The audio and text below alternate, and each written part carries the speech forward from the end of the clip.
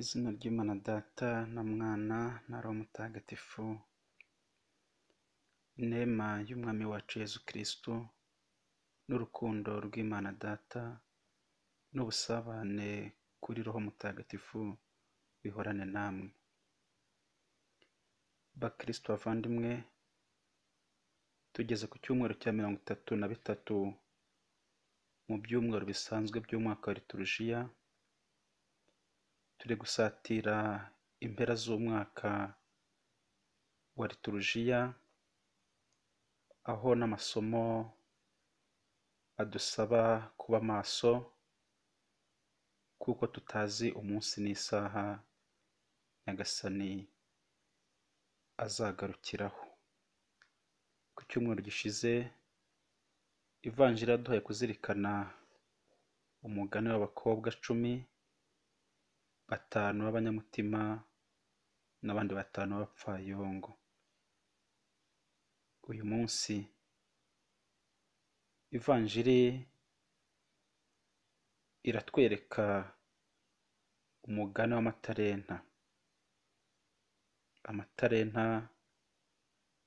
ahuzwa n'ingabire Imana yaduhaye kugira ngo tuzibyaze umusaruro. Turazirikana kandi isomo rya mbere dusanga mu gitabo cy'imigani, umutwe wa mirongo itatu na rimwe, umurongo wa cumi kugera ku wa cumi na gatatu, uwa cumi n'icyenda n'uwa makumyabiri, uwa mirongo itatu n'uwa mirongo itatu na rimwe, tuzirikane n'ibaruwa ya mbere Pawulo yandikiye Abanyatesaloniki, umutwe wa mbere, umutwe wa gatanu, umurongo wa mbere kugera ku wa gatandatu. Ivanjiri yanditswe na Mutagatifu Matayo, umutwe wa makumyabiri na gatanu, umurongo wa cumi na kane kugera ku mirongo itatu. Turizihiza kandi umunsi mpuzamahanga w'abakene, duhimbaza ku nshuro ya kane. Nyagasani Yezu nabane namwe. Amagambo yo mu Ivanjiri ntagatifu uko yanditswe na Matayo. Koko iby'icyo gihe bizamera nk'umuntu wari ugiye kujya mu rugendo, agahamagara abagaragu be akababitsa ibintu bye. Umwe amuha amatalenta atanu, undi abiri, undi imwe, umuntu wese ku rugero rw'icyo ashoboye, hanyuma aragenda. Ako kanya uwari wahawe amatalenta atanu ajya kuyakoresha maze yunguka andi atanu. Uwari wahawe abiri na we yunguka andi abiri.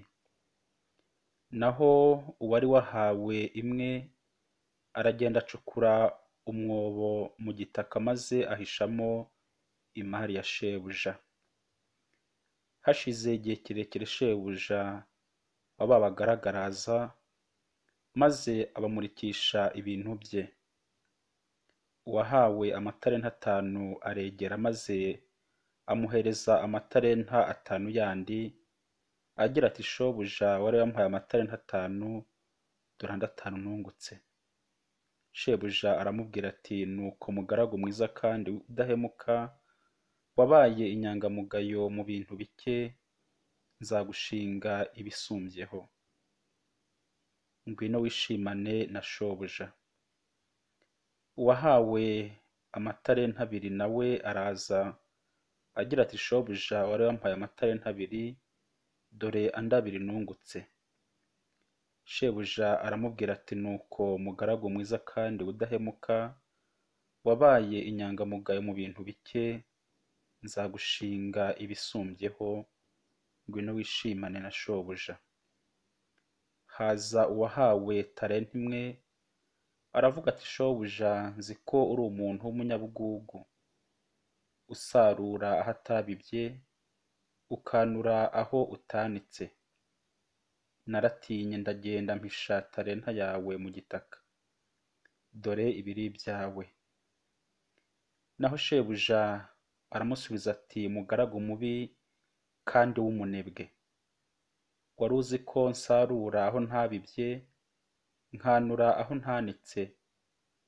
Uba rero urabikije imari yanjye abari kunyungukira, nagaruka nkabona ibyanjye n'inyungu. nimumwambure talenta ye maze muyihe ufite amatalenta icumi kuko utunze bazamuha agakungahara naho udafite na mba bazamwaka n'utwo yaganyiragaho. Naho uwo mugaragu w'imburamumaro nimumujugunye hanze aho azarira kandi agahekenya amenyo. Iyo ni ivanjiri ntagatifu. Bakristo bavandimwe ndagira ngo kuri uyu munsi mpuzamahanga w'abakene tuzirikane ijambo ry'imana ry'iki cyumweru cya mirongo itatu na bitatu duhera ku bivugwa mu isomo rya mbere mu gitabo cy'imigani aho kitwereka umugore w'umutima. Kiragira kiti umugore w'umutima azabonwa nande?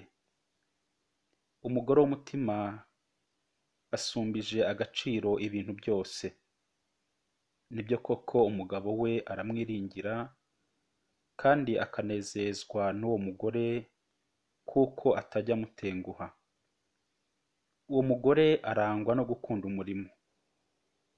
Nibyo koko umunyarwanda yavuze neza agira ati ukurusha umugore aba akurusha n'urugo.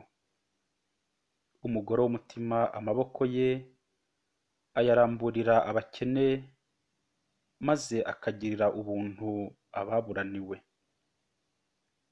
Bagore mudatanga bagore b'ibisambo bagore mudaha abakene ntabwo muri abagore b'umutima. Turabasabira ngo murambure akaboko dore ko ari mwebwe mukunze kuba muri mu rugo ari mwe mucunga ibyo mu rugo mucunga amasitoke muhaha nimurambure muha abakene.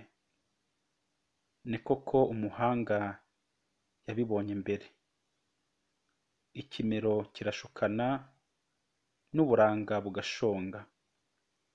Umugore utinya uhoraho umugore w'umukozi utari umunebwe ni we ukwiye kuratwa no kwegurirwa ibyavuye mu kuboko kwe. Ibi ngibi bikareba cyane abagabo kugira ngo bareke nabo kuba ibisambo bareke gucura umutungo abagore babo kandi baba bavunitse kugira ngo uwo mutungo uboneke niba umugore yahirira itungo kuki urigurisha amafaranga avuyemo ukayamarira mu kabari ukayakoresha ibyawe nta kiganiro ugiranye n'umugore wawe? Ahubwo se kuki ugurisha iryo tungo cyangwa n'indi mari yo mu rugo utabanje kuganiriza uwo mwashakanye? Ibi byose ni byo ivanjiri yise kumenya gukoresha imari ukayibyaza umusaruro. Buri wese rero afite imari buri wese afite italenta yabikijwe n'imana. Iyo talenta imana izayikubaza ikubaza n'impamvu wagize intege nke ntuyibyaze inyungu ntuyibyaze umusaruro. Nk'umugaragu mubi ni kuki utinya? Kuki ushaka inzitwazo? Urasabwa kubyaza italenta wahawe inyungu. Kuko kutabyaza italenta inyungu ni ukuba imburamumaro ariko se waba uzi talenta imana yaguhaye? Uyikoresha gute? Ese aho ntiwacukuye ugataba ingabire imana yaguhaye muri batisimu no mu gukomezwa ndetse n'andi masakaramentu wahawe. Uyu munsi umenye ko uri umugaragu mubi kandi w'umunebwe. Nyagasani aragukebura ngo wongere wisuzume. Kubera ko nyagasani azaza agutunguye umunsi utazi maze akubaze ibyo yaguhaye n'uburyo wabikoresheje. Nibyo koko isomo rya kabiri ryabigarutseho umunsi wa nyagasani uzaza nk'umujura wa nijoro. Ese ibyo utunze kandi abandi barabibuze? Ubikoresha gute ufasha abakene?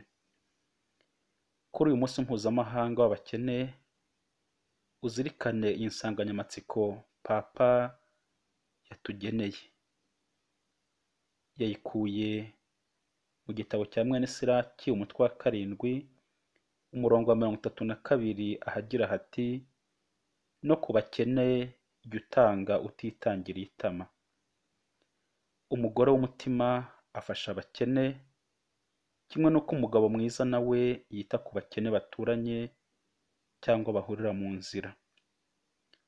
Musore nawe nkumi mwana impumyi irabasaba.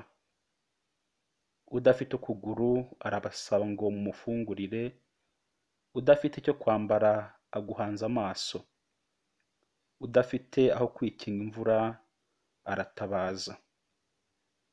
Muvandimwe kuri iki cyumweru ndagusaba ngo wubure amaso ukoreshe neza italenta wahawe maze urebe lazaro wicaye ku muryango w'inzu yawe agufunguza.